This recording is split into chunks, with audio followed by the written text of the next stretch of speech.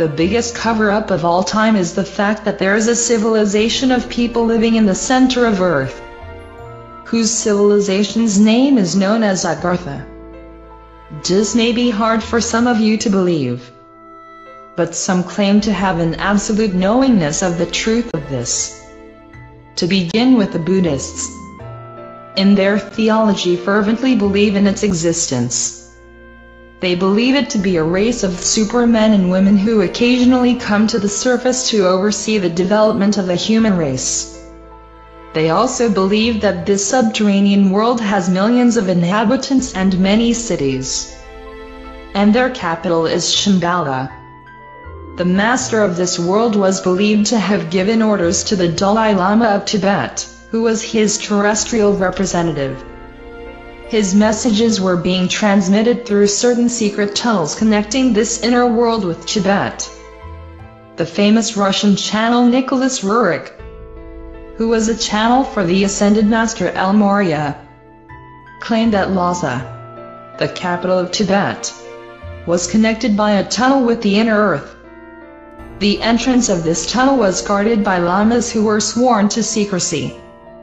A similar tunnel was believed to connect the secret chambers at the base of the Great Pyramid at Giza and Agartha. The Indian epic, the Ramayana and the Bhagavad Gita are the two most famous texts of India. The Ramayana tells the story of the great avatar Rama. The Bhagavad Gita tells the story of Krishna. The Ramayana describes Rama as an emissary from Agartha who arrived on an air vehicle. This is quite extraordinary in that both the Buddhist and Hindu religions separately refer to Agartha. The first public scientific evidence occurred in 1947, when Admiral Richard E. Byrd of the United States Navy flew directly to the North Pole, and instead of going over the pole, actually entered the inner earth.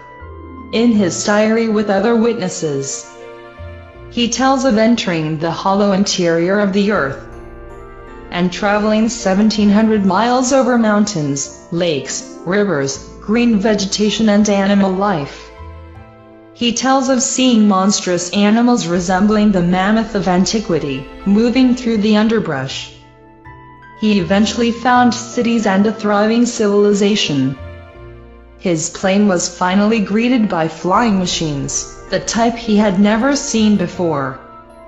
They escorted him to a safe landing place and he was graciously greeted by emissaries from Agartha.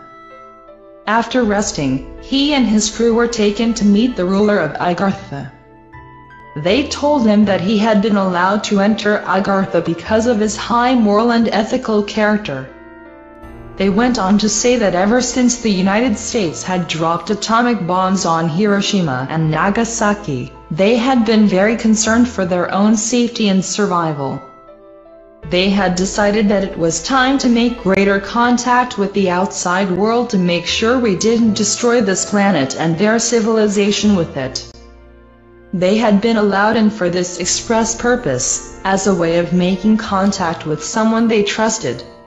To make a long story short, Admiral Byrd and his crew, upon their visit, were guided by their hosts in their plane back to the outer world.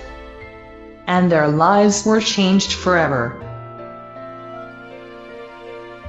In January 1956, Admiral Byrd led another expedition to the Antarctic. In this expedition he and his crew penetrated for 2,300 miles into the center of Earth again. Admiral Byrd states that the North and South Pole are actually two of many openings to the center of Earth. This sure resembles Jules Verne's famous science fiction book, Journey to the Center of the Earth, which many of you may have read or watched the movie. Admiral Byrd also states inner Earth has an inner sun. Admiral Byrd's theory is that the poles of the Earth are convex, rather than concave. Ships and planes can actually fly or drive right in. The American press announced Admiral Byrd's discovery. However it was immediately suppressed by our good friends, the secret government. Ray Palmer, the editor of Flying Saucer magazine did a detailed story on Admiral Byrd's discoveries. The United States government either bought, stole or destroyed almost every copy, and then destroyed the plates at the printing press. According to rumors, the exact same thing happened in respect to an article done on Admiral Byrd's discovery by the National Geographic. The magazine was released and the US government gobbled up almost every issue. If the story wasn't true, how come the government was so uptight? Another interesting fact is that the United States government does not let planes fly over the poles. All flights are directed to go around the poles, and any airline pilot flying in these areas will tell you this.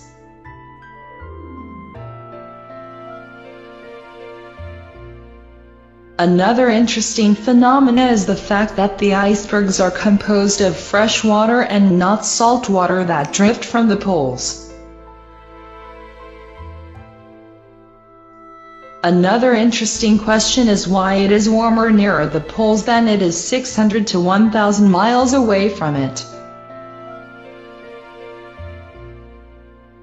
One of the early writers to present the theory of the Earth being hollow with openings at its poles was an American thinker.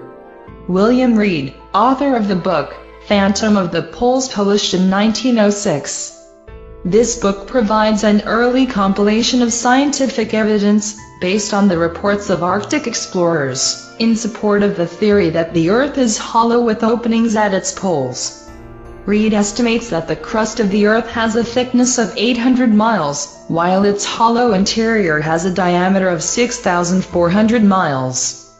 Reed summarizes his revolutionary theory as follows. The Earth is hollow. The poles, so long sought, are phantoms. There are openings at the northern and southern extremities. In the interior are vast continents, oceans, mountains and rivers.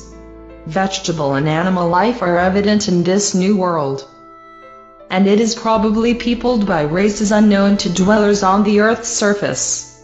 Reed pointed out that the Earth is not a true sphere, but is flattened at the poles or rather it begins to flatten out as one approaches the hypothetical North and South Pole, which really do not exist because the openings to its hollow interior occur there.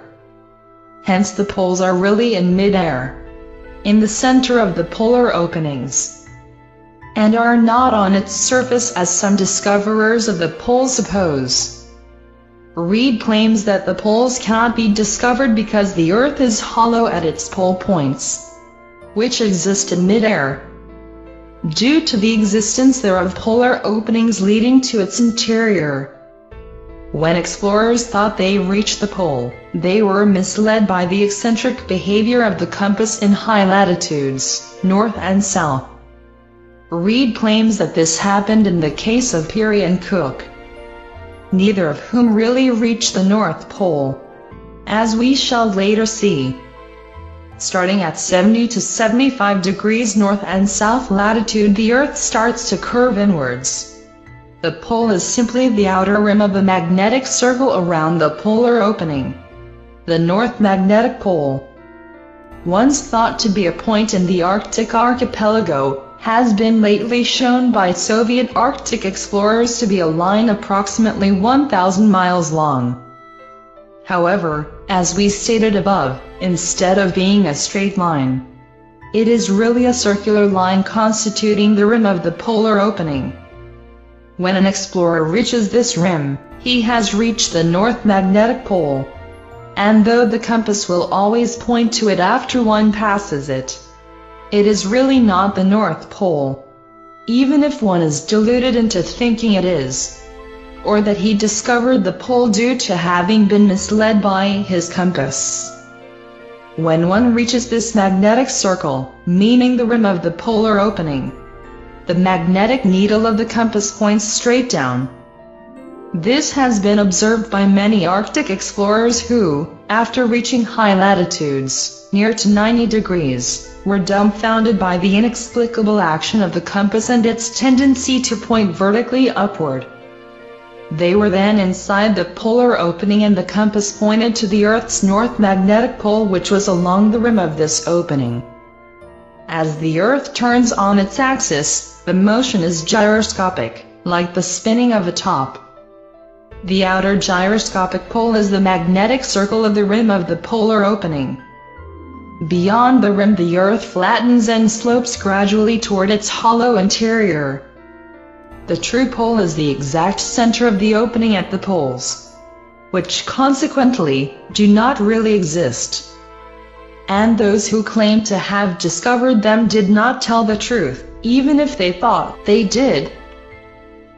Having been misled by the irregular action of the compass at high latitudes.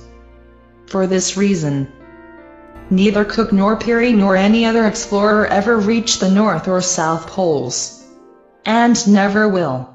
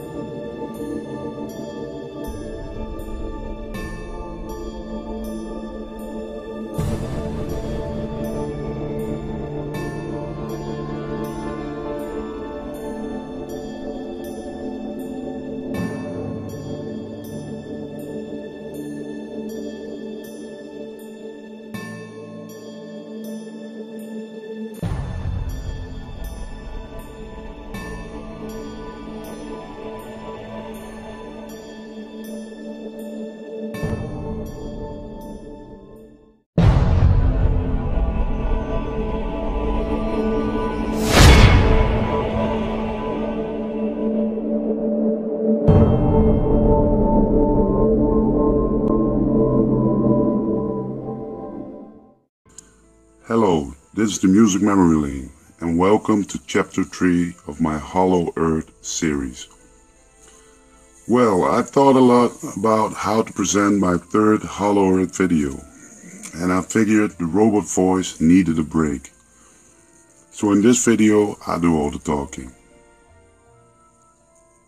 Well, in part 2, I told you about an alleged UFO crash in Freiburg, Germany Although there's almost no evidence to back this up, I strongly believe something or someone was helping the Germans to become the most advanced nation on this planet during the Second World War. You have to realize that Hitler's inner circle was teeming with individuals that were obsessed with the occult and the paranormal. People like Rudolf Hess and Hitler himself were convinced that a race of superhumans escaped the surface of our planet during a cataclysmic event, perhaps an event that resembled the biblical giant flood. Secret societies like the Thule and Vril Society were absolutely obsessed in obtaining occult artifacts, like the Holy Grail, the Ark of the Covenant, and the Spear of Destiny. The Spear of Destiny was one of those artifacts they did manage to obtain. It has been said that those who own the Spear of Destiny will become undefeatable. So it's not hard to understand why the Germans were so desperate to find these items.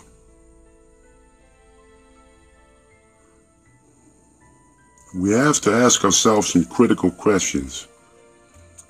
How was Germany able to overcome the hardship of the Versailles Treaty, the inflation, the millions of Reichsmarks they had to pay to France and England after losing the First World War?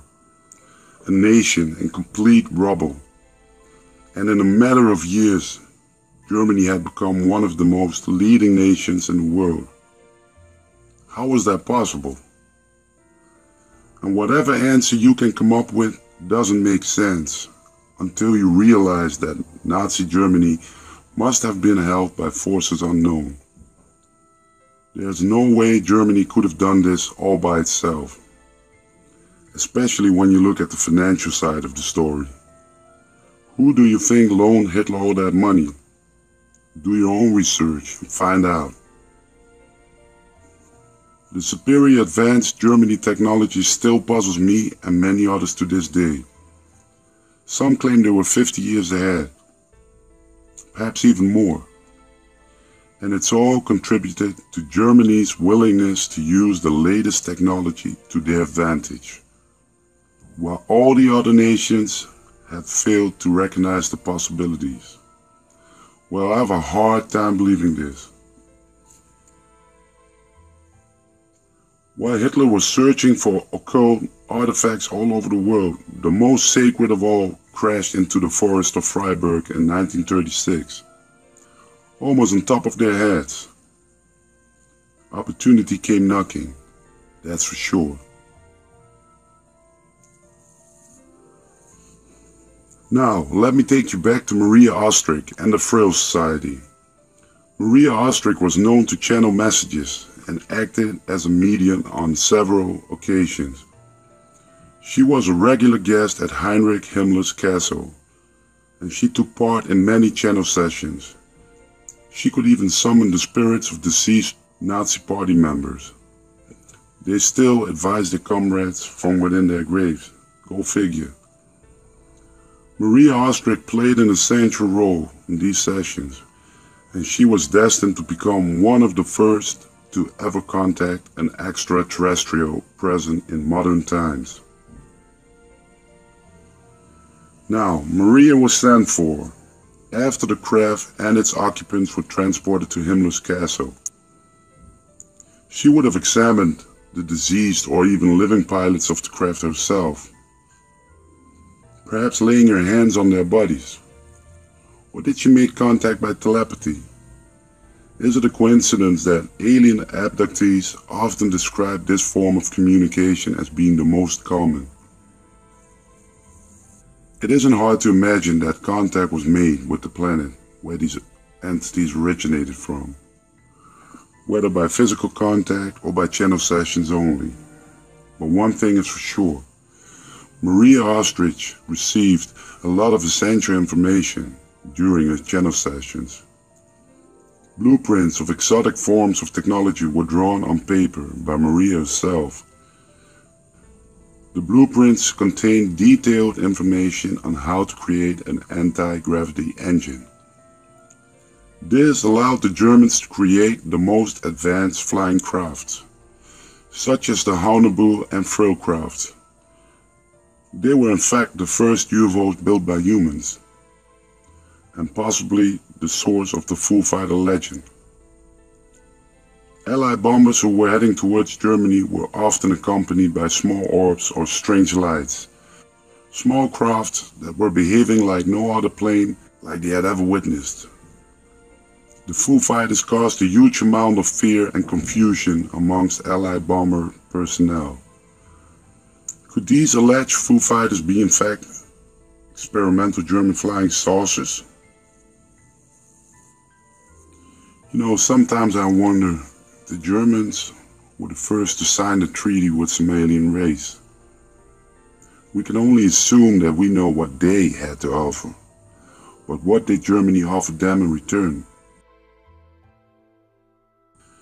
It is claimed that the Nazis were setting up a secret base for advanced weapon and flight experiments, as well as a place to escape should the war not go to plan. This was also detailed in newspapers of the time. In the Vierjahresplan, the four-year plan, promoting the Third Reich's plan to colonize the Neuschwabenland. And their plans also involved a person that would become synonymous for the Hollow Earth theory.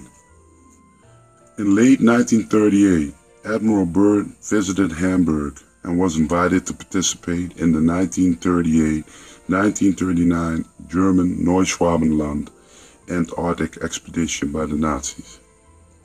Byrd had a great knowledge of the Antarctic area. He had already been on several expeditions there previously. However, Byrd declined. The Nazi expedition discovered several ice-free regions with lakes and small signs of vegetation. The expedition geologists said this phenomenon was due to hot springs. This discovery led to Heinrich Himmler to hatch a bold plan to build a permanent base in Antarctica. That base was codenamed Station 211. Admiral Karl Dönitz announced its completion in 1943 by saying, The German submarine fleet is proud of having built for the Fuhrer in another part of the world, a Shangri-La on land, an impregnable fortress. There are many stories around Station 211, one of which details a supposed treasure room, which held the Holy Lance or the Holy Spear that pierced the side of Jesus Christ on the cross, as I mentioned earlier. Why Antarctica? During the Nazi expeditions to Tibet, they were given access to secret cave systems of the Tibetan monks that had not been seen for centuries. The Tibetans believed the arrival of the Nazis fulfilled their own prophecies that would usher in a new age of enlightenment. During the exploration of the caves by the Nazis, it is claimed that a secret volume of ancient texts from pre-flood times or even from Atlantis were found. These texts are supposed to have detailed where the opening to the Hollow Earth could be found, and Hitler believed that an Aryan race dwelling there would help them win the war. It is claimed that after World War II, Adolf Hitler did not commit suicide in 1945, but fled to Argentina, then on to Station 211 in Antarctica. Numerous Nazi submarines went missing after World War II and it's supposed that these were used to transport Hitler and others. Two submarines surfaced in Argentina three months after the war. They were captured by the Allies and interrogated by the Secret Service. It is believed that these U-boats were the ones who transported Hitler and Eva Braun to Station 211. Any possible evidence on both U-boats were missing. No name tags, no coordinates, no maps, nothing. But the Southern American Assembly of an Antarctic research expedition suggests that one of the crew members had failed to shut his mouth. Now, Admiral Byrd was sent to Antarctica. Publicly, it was just a research expedition. However, the amount of manpower sent was huge compared to the former Nazi Antarctic expedition. The massive Antarctic task force included 4,700 men, 13 ships, and multiple aircraft. Just to give you an impression of the scale of this operation. Admiral Byrd comments in his press release of November 12, 1946, stated that the purposes of the operation are primarily of a military nature. That is to train naval personnel and to test ships, planes, and equipment under frigid zone conditions. A major purpose of the expedition is to learn how the Navy's standard everyday equipment will perform under everyday conditions.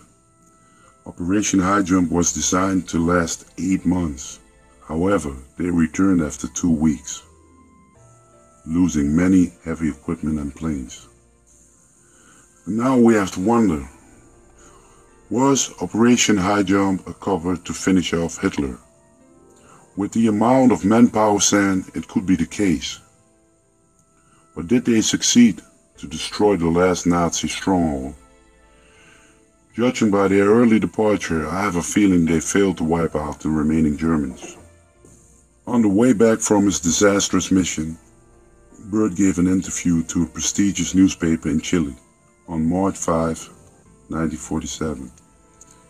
The article states, Admiral Byrd declared today that it was imperative for the United States to initiate defense measures against the possible invasion of the country by hostile aircraft operating from the polar regions. As regards the recently terminated expedition, Byrd said that the most important result of the observations and discoveries made is the current potential effect which they will have on the security of the United States. Well, this of course is the censored version. Others claim Byrd had actually warned the United States government for an enemy that was able to fly from pole to pole in several minutes. And the most bizarre rumor I ever heard is when Admiral Byrd returned home, he was invited by the president himself. The president wanted to hear what happened to Byrd and his Navy fleet. Well, Admiral Byrd allegedly begged and pleaded the president to nuke the hell out of the polar region. He urged the president to drop several nuclear bombs on the alleged Nazi fortress. According to many deathbed confessions by expedition members, the fleet was approaching the entrance of Base 211. All of a sudden, a fleet of U-boat-type crafts emerged from the icy waters and attacked the fleet with fierce aggression. Several ships were sunk in minutes. Many sailors lost their life that day. Witnesses also stated that German ground troops were defending the entrance of the base with strange weapons that fired sonic waves. The whole experience must have been terrifying to Byrd and his men. Finally, Byrd gave the order to retreat. He knew that if he would stay there any longer, his entire fleet would be destroyed. Well, now I will conclude this video with the most shocking rumor. At least the most shocking rumor I ever heard. You know, scientists always talk about how thin the ozone layer is at the North Pole, right? By measuring the thickness of the ozone layer at the poles, they can tell us in which condition the ozone layer is. Our polluting waste are the main reason for the thin ozone layer, according to scientists. But what if the ozone layer was already damaged? What if the Allies listened to Admiral Byrd's advice and decided to drop multiple atom bombs on the alleged base? Base 211. Imagine how long it would take for the ozone layer to recover. But hey, it's all rumors.